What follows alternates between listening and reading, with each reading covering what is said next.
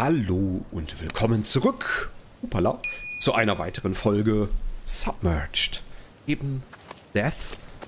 Und ja, wir haben am letzten Mal, ich hatte jetzt eine lange Aufnahmepause, hier diesen schönen Berg erklommen, oder dieses ehemalige, ich glaube, Fernsehturm war es, haben abgeschlossen.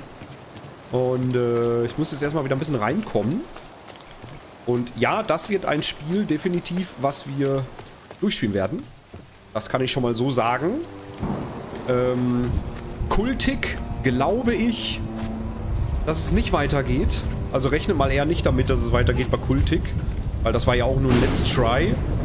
Und äh, ich habe es ausprobiert. Ich fand es ganz cool, ja, aber ich glaube, es eignet sich jetzt nicht so dafür, dass ich das, dass ich das jetzt nochmal weiterspielen werde.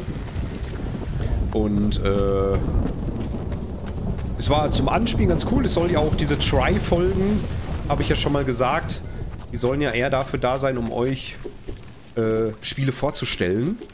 Und äh, es, es, es soll ja so sein, dass bei Try, ich, ich erzähle das jetzt einfach mal, das so ist, dass ich Spiele spiele, anspiele. Und es kann aber auch sein, dass ich die Spiele durchspiele, wenn sie mir gefallen. Na, ansonsten wird es einfach nur ein Let's Try, also ausprobieren und euch zeigen so drei Folgen maxi maximal. Also sage ich, sag ich jetzt erstmal, werden es immer so im Schnitt. Also es werden definitiv immer so drei Folgen. Das ist immer so der, der Schnitt, den ich mir gesagt habe bei diesem, bei diesem, äh, ähm, nicht Content, wie sagt man, äh, bei diesem, ähm, na, Format. Bei dem Format Try, dass ich da immer so auf jeden Fall drei Folgen mache, um da, sag ich mal, hat man genug gesehen, so anderthalb Stunden vom ein Ersteindruck des Spiels, um so ein bisschen selber zu entscheiden, ob das was für einen ist oder nicht. So, genug gesagt. Zurück zu Submerged. Da sind wir. Wir waren... Ich schau mal eben auf die Map. Genau, wir waren jetzt hier, hatten jetzt hier den Samen abgeschlossen. Hier ist noch ein Boots-Upgrade, was ich vielleicht noch holen möchte. Da oben ist auf jeden Fall auch noch ein Samen, wo wir noch hin müssen. Alter, wir haben noch so viel zu tun, ne? Ich würde aber auf jeden Fall... Grau war, glaube ich, das, was wir alles schon haben, ne? Ich würde einmal das hier holen. Kann ich... Okay, wir müssen einmal komplett drehen. So viel steht schon mal fest. Also in diese Richtung da hinten müssen wir. Auf der Karte oben Richtung Westen. Man sieht's, also oben auf der Karte, oben auf dem Kompass so. Stimmt, wir haben am letzten Mal ja auch den, ähm, diesen, äh, Upgrade für unser Boot und hübscher gemacht. Ne? Es sieht jetzt blau aus, nicht mehr, glaube ich, rot. War es rot gewesen? Weiß ich gar nicht mehr. Oh, ist das, ist das ein ehemal... Jo, ist das ein Parkhaus? Wie cool. Hä, wie geil das... Hä, wie geil das einfach sein muss. In so einer alten Ruine, in so einem alten Parkhaus einfach so durchzuschippern. So. Ich höre was. Kann ich hier anlegen? Oh, und die Musik ist so schön. Hier oben ist auf jeden Fall irgendwas. Aber ich kann hier leider nicht anlegen. Aber ich würde ja das Boot-Upgrade holen. Das hier ist. Da ist es. Uah. 4 von 26 Boot-Upgrades gesammelt. Juhu, wieder ein bisschen mehr Boost. Sehr schön. Dann lass mal gucken. Also, dann haben wir hier soweit alles abgeschlossen. Auch die Bücher. Hier ist noch ein Buch. Tagebücher. Da unten. Das ist unten links müssen wir hin. Das heißt, wir müssen jetzt da lang. Huch, es ruckelt ein bisschen. Ich weiß nicht warum. Atom-PC reicht dafür nicht aus. So, dann wollen wir mal. Ich finde das immer noch voll schön, dieses Spiel. Muss ich einfach sagen. Und wenn ihr das zum Beispiel einfach nur mal abends auf dem Sofa guckt, jetzt hier, oder einfach mal zwischendurch. Es ist einfach ein Gemütlichkeits-Let's Play. Es ist ein Let's Play, was man einfach... Alter, diese Mini-Freezes, ne? Ein, ein Let's Play, was man einfach zwischendurch... Zwischendurch gucken kann. Ein Gemütlichkeits-Let's Play. Oh, komm! So, jetzt aber. So. Es soll jetzt hier keine Hektik aufkommen, sondern einfach gemütlich. So, hier soll ein Buch sein. Wir gucken mal, ob wir das finden finde das voll witzig, dass man zwischendurch auch hier den, den Bruder spielt. Okay, da ist eine Leiter, kommen wir mal nicht dran. Schauen wir mal, was haben wir hier? So, da kommen wir dran. So, das Buch ist wo? Auf der Map ist es da. Also müssen wir da irgendwie hinkommen. Ich weiß noch nicht genau wie. Ich höre Tauben. Da sieht es aus, als würde man da irgendwie sich langhangeln können. Wir probieren es mal. Irgendwie wird das ja hier schon funktionieren. So, mal hier rüber.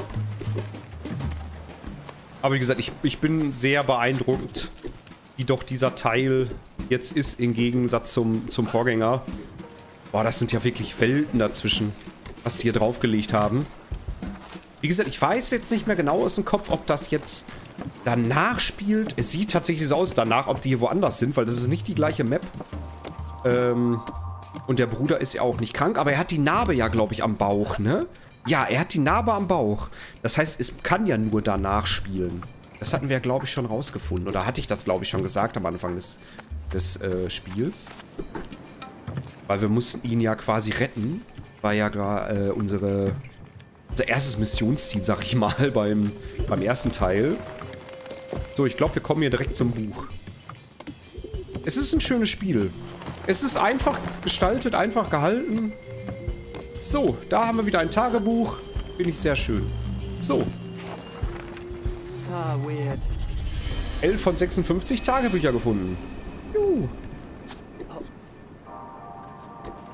Alle Objekte in der Nähe entdeckt. Ich finde das so schön, dass das angezeigt wird. Das ist mega praktisch. Mega, mega praktisch. So, dafür auch das X. X bedeutet nix. So. Gut, dann können wir wieder runter zum Bötchen. Ich würde einmal wieder auf die Karte gucken. Dann haben wir das auch abgeklappert. Ähm, hier unten kommen wir, glaube ich, nicht weiter. Hier ist eh Ende der Karte. Hier unten hier. Irgendwie geht es noch weiter. Da können wir jetzt hin. Das ist hier links liegend. Das würde ich jetzt mitnehmen. Ähm, genau, das ist unsere Kuppel. Da können wir sogar Schnellreise machen. Und da ist, glaube ich, noch ein Relikt. Genau, dann würde ich jetzt erstmal hier links hinfahren, hinschippern. Das müsste ja irgendwo... Äh, hallo? So. Das müsste da irgendwo sein. Krass, dass diese Pelikane... Ach nee, die sind auch nicht echt. Das ist ja heftig. Und ich kann mich entsinnen, dass diese schwarze Fäulnis, glaube ich, damals auch gab. Die gab es definitiv damals auch. So, wo können wir hin? Wie kommen wir dahin? Hier anscheinend nicht, oder? Nee. Ich würde einmal... Hui, einmal hier rumschippern. So. Es ist echt eine sehr, sehr schöne Reise und ich bin froh, dass ich diese Reise mit euch zusammen bestreiten kann. Dass wir dies hier, dass das hier wirklich zusammen, zusammen machen können. Halt, stopp. Was ist das denn? Hallo. Och, noch ein Boot-Upgrade. Ja, geil.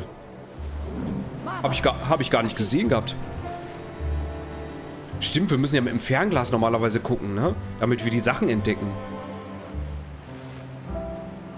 Schon so lange wieder raus. So, da sitzt wieder jemand aus der Vergangenheit. Oder mehrere sogar. So.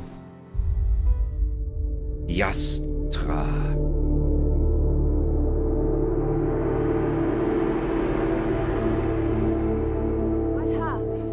Jastra Inc. könnte ein ehemaliges Bürogebäude gewesen sein. Aber das werden wir bestimmt herausfinden. So. Ich finde das voll schön. Ich muss es einfach so sagen, wie es ist. Ich mag das, dieses Rumschlawenzeln hier. Ich finde das voll schön. Und ich muss ganz ehrlich sagen, ich spiele lieber das, das, das Thema, das hatte ich schon mal. Ich weiß nicht wo, vielleicht im anderen Let's Play, entschuldigt bitte, wenn ich mich wiederhole, aber ich habe es lieber solche Games, die vielleicht nicht so hübsch sind, die auch ein paar Ecken und Kanten haben, die vielleicht, ich weiß nicht, nicht ganz so rund laufen. Ich meine, so AAA-Games sind ja mittlerweile auch nicht mehr so ganz so rund, aber Spiele, die nicht 30 Stunden haben. Guck mal hier, Raytracing ist an, Alter, wie das glänzt. Äh, die nicht 30 Stunden haben die vielleicht nur 10 gehen. Weil ich, ich rede jetzt nur von meiner persönlichen Meinung, ne? Aber ich persönlich habe gar kein... affin mehr oder ich habe gar keinen Anspruch mehr oder Ansporn, mich 30 Stunden durch so ein Game... Oh. Durch so ein Game zu wälzen. Hallo? Hey.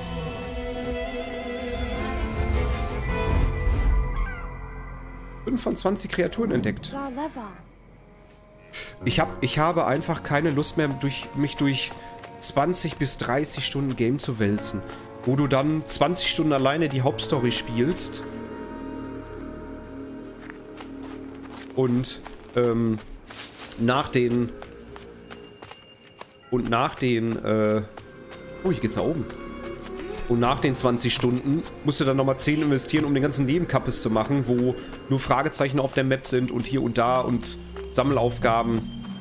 Da habe ich gar nicht mehr so den Bezug zu. Also das... Das ermüdet mich, muss ich einfach sagen. Das, das, das macht mich einfach nicht traurig, aber mega müde. Da habe ich lieber, wie gesagt, Games, die vielleicht nur 5 Stunden gehen. Nur 10 Stunden sind auch akzeptabel. So, hier ist noch eine Muschel. Das war es, glaube ich, hier gewesen, ne? Ja, ah, okay. Gut, dass wir nochmal gucken gewesen sind. Ähm, also ich sag mal so, 15 Stunden ist okay. Das, das lasse ich mir noch erlauben, ja. Dann habe ich 10 Stunden die Story gespielt und habe vielleicht 5 noch ein bisschen Nebenkram oder so. Oder generell das ganze Game geht 15 Stunden. Ist völlig in Ordnung. Das reicht auch. Aber ich brauche da nicht irgendwie, wie gesagt, diese, diese riesen Dinger. Wenn ich jetzt sehe, hier so ein, so ein das neue God of War Ragnarök. Ich meine, ich habe den, den ersten Teil habe ich angefangen zu spielen. Ich weiß nicht, warum ich ihn nicht weitergespielt habe. Ist eigentlich ein cooles Game, aber ich, ich schätze mal auch wahrscheinlich aus diesem Grund. Denn wenn ich lese, das Game hat, glaube ich, auch, waren es 36 Stunden? 35 Stunden? Der, der, zweite Teil jetzt?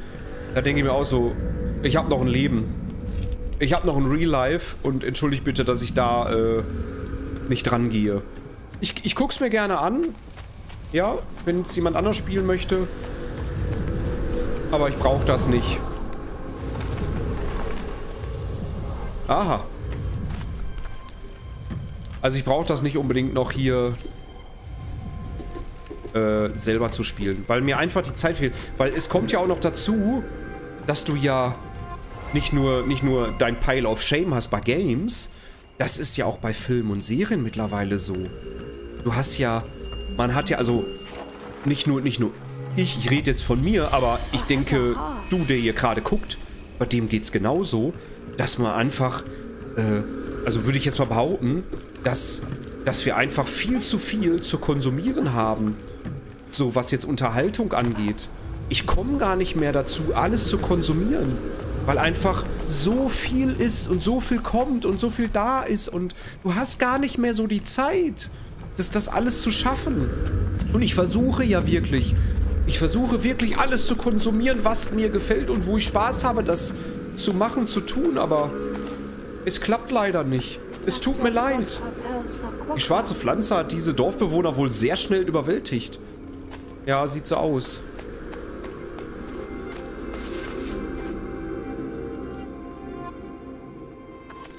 Ähm, nein, aber ich habe da einfach nicht mehr die Zeit für, weil... Überleg mal, jetzt... Ich habe jetzt... Äh, äh, alles, was ich jetzt im Stream aktuell spiele, sind alles Games, die ich nachhole. Wie zum Beispiel aktuell ein Metro. Metro Exodus. So, und überleg mal, was jetzt in der Zeit, wo ich das spiele, das ist ja auch kein Game, was mal eben nur 10 Stunden hat. Das geht auch ein bisschen länger. Aber ich will es abschließen, weil ich das Game gut finde. Ich habe die Vorgänger gespielt. So, aber mit dem Game bin ich lange beschäftigt. Und ganz ehrlich, in der Zeit, wo ich das spiele, sind keine Ahnung, wie viele neue Games auch schon wieder rausgekommen, die mir zusagen, wo ich mir so sage, boah, würde ich gerne spielen. Aber ich habe einfach gar nicht die Zeit dafür aktuell. Weil noch so viel auf mein Pile, Pile of Shame abzuarbeiten ist, den ich habe, wo ich mir so denke, so, holy fuck. Das wird noch ein bisschen dauern, bis ich dahin komme. Und ich auch nicht mehr der Typ bin, ähm, ich weiß nicht, wie es euch geht, aber ich brauche zum Beispiel ganz, ganz selten nur noch Spiele wirklich zum Release. Ich habe es früher auch gemacht, auch im Stream, habe ich regelmäßig Games immer wieder zum Release-Tag gespielt. Klar, es bringt dir natürlich Zuschauer, es bringt dir neue Leute ein. Natürlich, klar, sicher. Aber nicht unter dem Aspekt, sondern einfach, weil ich spielen wollte. Weil ich geil darauf war. Ne, viele weiß ich, viele natürlich äh, nutzen das natürlich dazu, um halt Zuschauer für sich zu gewinnen. Ist auch, hey, ist auch völlig in Ordnung. Habe ich, wie gesagt, auch gemacht. Aber mein Aspekt, glaube ich, eher, oder was heißt glaube ich, sondern ist eher gewesen, dass ich einfach das Spiel zocken wollte und Bock darauf hatte. Aber mittlerweile habe ich gar nicht mehr so den, den Drang dazu, diese Spiele vorzubestellen und das am, am Release-Tag zu spielen. Habe ich gar nicht mehr. Ich weiß nicht, wie es dir geht, äh, aber Ne? Du, der jetzt gerade hier das Video guckt, kannst ja mal schreiben, geht es dir genauso? Musst du oder musst du vielleicht noch die Spiele am, am Release-Tag spielen? Hast du da noch Bock drauf? So, wir düsen mal hier runter. Äh, musst du das haben? Also ich brauche es, wie gesagt, ich brauche es, wie gesagt, nicht. Ich kann auch gut, ich kann auch tatsächlich gut äh, äh ohne, ohne, äh, äh, ohne leben. Also das jetzt am Release-Tag zu haben. So, ein Buch fehlt uns noch, das müsste da oben sein. Wie gesagt, ich brauche es nicht. Weil, sind wir mal ehrlich, wenn das Spiel zum Release-Tag rauskommt, mittlerweile die großen Games, die Blockbuster, sind alle nicht mehr rund am Laufen. Die brauchen die Day-One-Patches von, keine Ahnung, 40 GB und Halleluja, was noch. So, da ist die Kugel. Der Samen.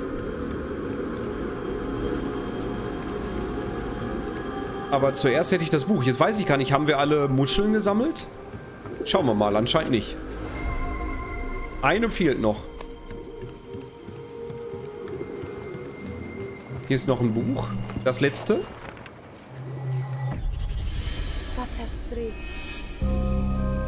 Wir zeigen ihm die Geheimnisse unserer Ruhe und das war unser Fehler. Der große Mann sah nur eine Gelegenheit, sich selbst Macht zu verschaffen. Tja, wie es immer so ist. Es geht immer nur um Macht. So eine Muschel haben wir übersehen. Die Frage ist, wo ist die? Ich habe es auch noch nicht gehört.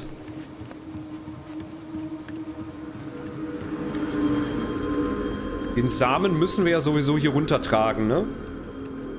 Dann würde ich ihn einfach mal mitnehmen.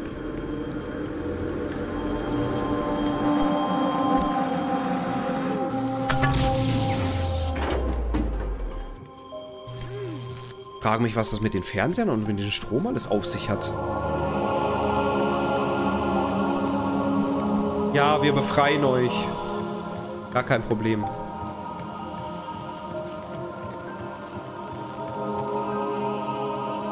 Wie schön das mit den Blumen einfach ist. So, da unten waren wir ja, ne? Also die, die äh, Muscheln werden übrigens nicht angezeigt auf der, äh, oben auf dem Kompass zu. Nein, aber das mal so zu dem Thema. Das äh, ist einfach... Also ich brauche es halt nicht. Muss man einfach so sagen. So.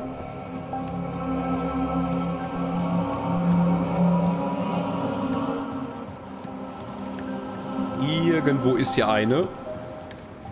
Versucht zu hören. Moment, hier vorne war ja auch noch was mit einer Blume, ne?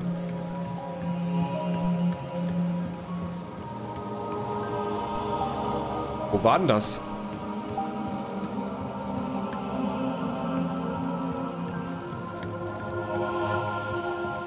Irgendwo konnten wir doch auch noch so eine Blume äh, befreien, oder?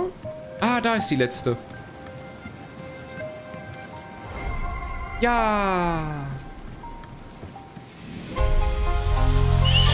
Schiffsstil freigeschaltet. Juhu. So, haben wir alles? Nein, uns fehlt hier noch was. Wahrscheinlich der Samen. Zählt der noch dazu? Zählt der Samen zu, zum Complete der Insel?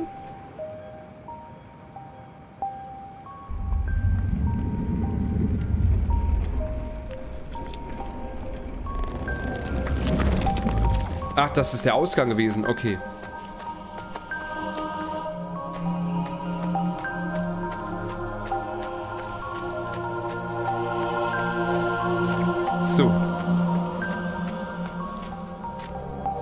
Wollen wir mal.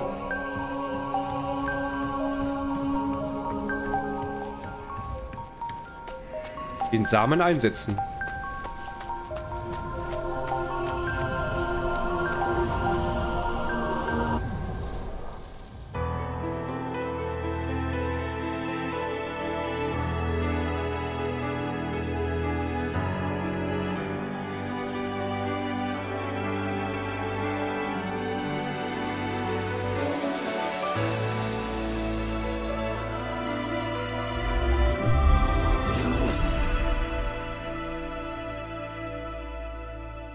Fehlen noch sechs.